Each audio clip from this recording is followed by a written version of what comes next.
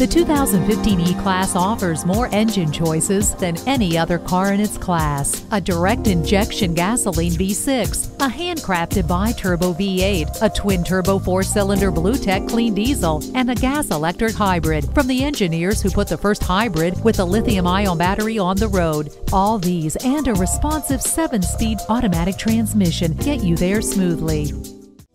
At Mercedes-Benz of Easton, we're committed to delivering first-class service along with the finest vehicles in the world. Come experience luxury the Germain way at Mercedes-Benz of Easton, conveniently located at Easton Town Center.